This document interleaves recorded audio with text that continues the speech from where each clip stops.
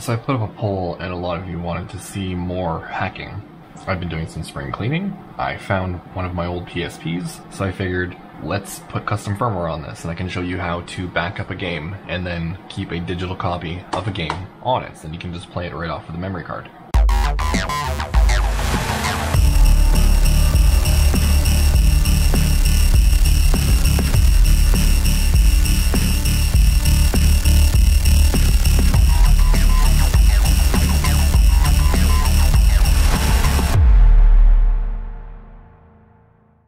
First thing you want to do for this is charge it. You want to have at least half of the battery completely charged before starting. So this is just charging. It's probably about like 90 some percent or whatever. And you're going to want to download some files I'm going to have linked in the description below. So now on the PSP, we can just go all the way over go up to USB connection, and you can hear that it just connected to the computer. Now we can carry on on the laptop. So now you can see that the PSP is connected, so we can just open this, go to the PSP folder, then we're gonna go to game, and now in here, we're gonna make a new folder. This folder is gonna be called update, all caps. Now in this folder, we can go to the official firmware, and we can just drag this right over.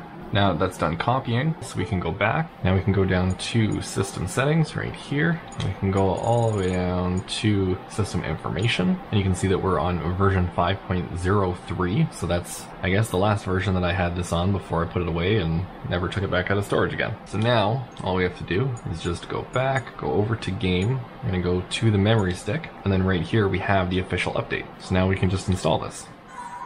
Now it's asking if we want to upgrade the system to 6.61, so we do, so we're going to hit start. And we have all the information for the user agreement, so we can just push right to go next, go down, accept. So now it's just saying that, you know, don't turn it off at all. Now it's installing. So now we can just set this down, let the update finish. So the update's done, it's going to hit X, now it's just rebooting. And just to confirm this information, now we're on 6.61. So now we can go back and we can connect to USB again. Okay, now we're back at the computer here. We have the PSP, we can open this. Go to PSP again, go to game again. Now in this folder for update, we're going to overwrite that file with the one from Infinity and Standard, unless you're doing the other PSP, but this one is for the PSP 1000, 2000, and 3000. So we're going to copy this over, and we're going to replace that file. Now we can go back to the game directory here. Now we can go back to the files we downloaded, and we can take this one here, now in this folder here we have PSP and SE plugins, so we're going to go to the PSP folder, game, and now in here, for this PSP specifically, because this is a PSP 3000, we're only going to require these two files here, but if you have a PSP 1000, then you can also do this one here, and then you don't need Infinity. So for this one here, we're only going to take these two files, and now we can go back. So now we have this SE plugins, which is going to go to the root of the PSP. So we're just going to go right back here, and we're going to drag this over to here. So everything on the computer at this point is done. So now we can go back over to the PSP. We can exit USB mode, and we can go over to game, and go down to the memory stick. Now in here, what we want to do is we want to go to Pro PSP Firmware Update. I'm going to run this one. Now all we have to do is just press X to launch the custom firmware. There we go, so it's ready to go. So now we can hit X to start. And now when we go over here to system settings, all the way down to the bottom, system information, and you can see that we are on 6.61 Pro C. So now we have access to the VSH menu. So now in here we can do overclocking and everything. We can change what connects from the USB device. So when we put a disk in here, when we connect to USB, we can actually drag the ISO file off of the PSP to make a backup. But for now, we have to make this permanent because when we restart the PSP, right here we can reset device, that's going to restart it. And now that we've restarted, you can see that we are on the regular firmware again. So we're no longer on custom firmware. So now we have to go to the memory stick and we have to launch the fast recovery. And all this is going to do is just restart the PSP automatically right into the custom firmware for us. There we go. Now, this is a totally acceptable solution. You could leave it here if you wanted, and then you could have the regular PSP firmware and the custom PSP firmware, but there's really no point to that. So now that we're on the custom firmware, so we can run non-official files, we can go to the memory stick, and we can go to Infinity 2. And all we have to do here is just hit X to install Infinity. There we go. Installation's complete. X to reboot. So now Infinity is installed, but because we've just rebooted, it's gone back to the stock firmware. So we have to go back to the memory stick and we have to go to fast recovery to run this again. So now it's going to boot back into the custom firmware. And now we're on the custom firmware, so we can go back to the memory stick. We can launch Infinity 2 again, but because it's already installed, now it's going to load. So now the dialog at the bottom to hit X to install is gone because it's installed. So now we just hit left and we can choose Pro custom firmware because that's what we just installed. So now it has a little asterisk right there. So now if we go back, hit X to exit. It's now rebooted. We can go to system settings, all the way down to system information, and now you can see we're on 6.61 Pro C Infinity. So now, no matter how many times we restart this, on boot, it's going to launch Infinity 2, which is going to patch this to tell it to automatically launch Pro C2. And again, just restarted and it's still ready to go. So now the last thing that I want to show here is how to back up one of your games. So that way you can store it on memory stick and then you can keep all of your games with you without having to bring tons of games with you. So we're going to go up to USB connection, but first we're going to hit select that's going to bring up the VSH menu and under USB device right here, we're just going to hit left and that's going to go to UMD disk. And we can push select again to get rid of this menu and we can put the disk in in the back of the PSP. Slide the disk in, close. So you can see that UMD is now loaded so we can go over settings and then USB connection. So now you can see that we have a completely different drive that comes up here. So we can open this, and that right there is the ISO file of the actual game itself. So all we have to do is just copy this over to the computer. So now it's reading off of the disk as it's copying this over. So now once this is done, we can just rename the file to correspond with the game. So this one's gonna be Need for Speed Most Wanted, and then we'll be dragging this over to an ISO folder on the PSP itself. Now you can see here that this is Need for Speed Most Wanted 510, and it's an ISO file. So now on the PSP PSP again. Now we can go back, we can open the VSH menu by pushing select, we can go down to USB device and we can just push right to go back to the memory stick, hit select again to get rid of that menu, hit USB connect again, and now we can go back over to the laptop. Now back on the PSP, we can just create a new folder here called ISO. And now in this folder, we can just drag this game right on there. Okay, so with the game copied over, that's it. It's done. So we can go over to game. You can see the UMD and the memory stick, and we have Need for Speed Most Wanted. So just for proof of concept, we can take this out.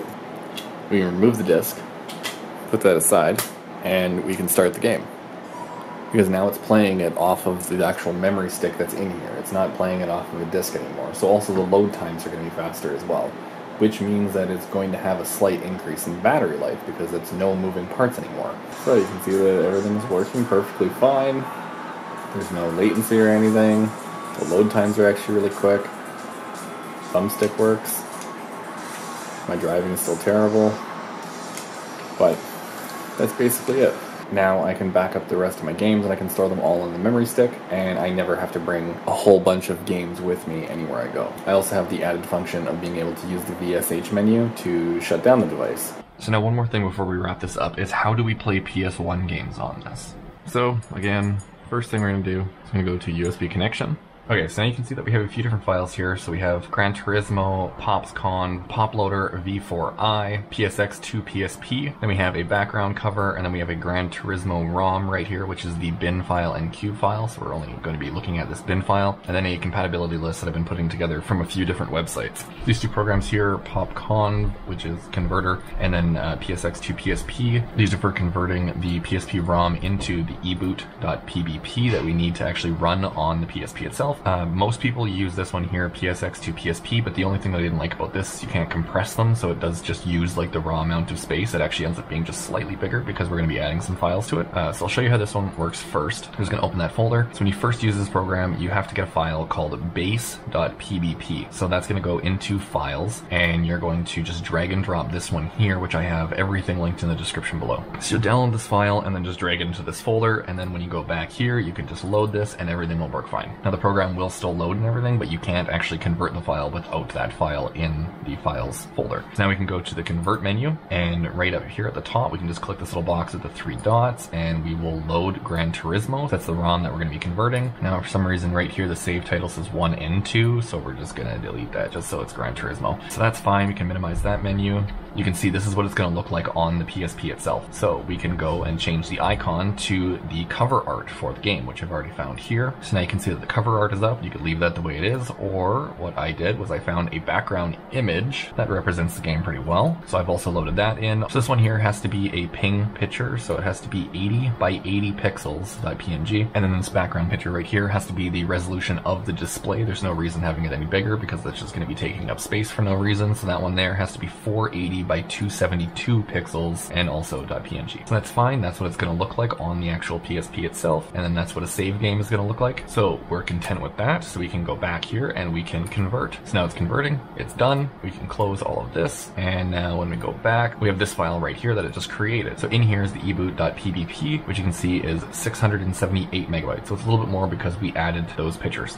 Now that's fine, and we could just take this folder right here and we could just drag it over to the PSP, but I want to compress it. So we can use this one here, pops conv. So we'll open this one and it's basically the exact same thing. We just click this button right here to open the ISO. You can see right here is the same Gran Turismo.bin file that we just previously used. We can load that one in. Now right here on the right side, we can set icon. That's going to be the cover art and it comes up right there. And then for the background, again, we're just going to pick the same background that we picked before. Now everything's fine there, but this one here has ISO compression. So we can turn that on or off and we have levels up to nine. So you start at level nine, test it on the PSP. If it crashes or there's any issues, then you go down to level 8 and you try it again, and level 7 and 6 and so on. And you just keep going with that until you have it working. And most games can be compressed a lot. This one specifically can be compressed to level 9 without any issues at all. So now that that's done, we can start convert, and this one is going to be taking a little bit longer because it's going to be compressing the actual game itself, but we will be saving a lot of space. So there we go, it's done. So now we can close this, and you can see right here is the folder that it just created. And now in here is also a keys.bin file, which is required for older PSP firmware, so I'm not sure if that's still relevant because we're going to be using Pop's loader, but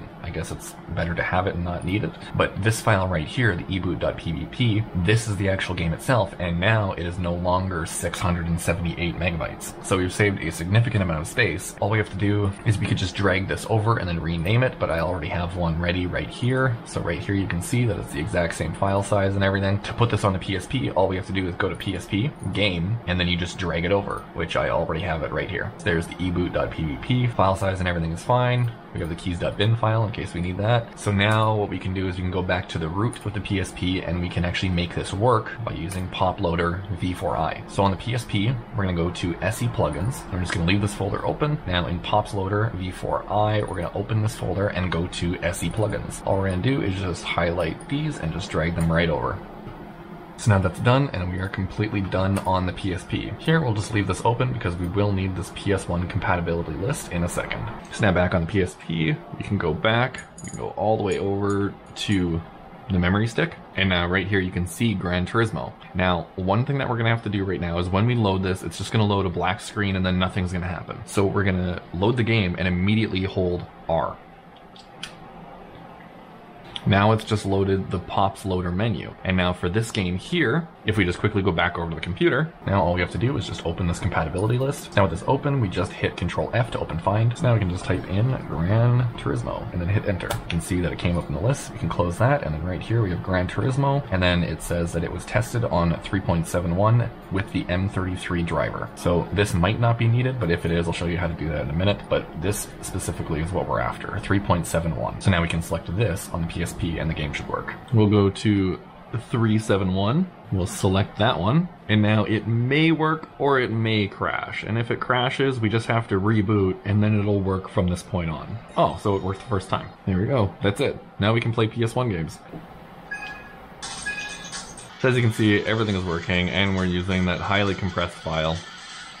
And everything is fine. So this just shows that everything works perfect and we can just operate the PSP just like normal go back and it's just like a regular PSP except now we can play PS1 games and now we don't have to load that menu next time we load it because it saved that it last worked on 3.71. There we go. So now one last thing, if it's not booting, is you might have to go back to the VSH menu and then go down to UMD ISO mode and change that to M33 driver. So that was mentioned in the compatibility list that it worked on the M33 driver. So this one with 3.71 was the combination that works for that. And we've just confirmed that it does. So it's just easier to do what's in the list because it's confirmed working instances. Anyway, that's it for this. Uh, like the video if you liked the video, dislike the video if you disliked it. That's cool. Join the members program if you want to help support the channel. You get VIP access to the Discords. So that way you get communication on everything that's going on the moment it's going on. And you can also watch any of the videos the second they're released instead of waiting for the upload dates. Subscribe to the channel. That's cool. That always helps out. Or, you know, don't. I don't know. I'm not telling you what to do.